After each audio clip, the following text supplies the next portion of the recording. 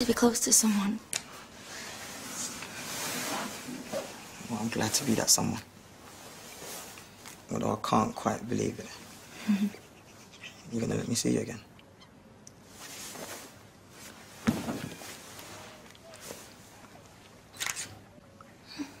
There you go. Now you can see me whenever you want.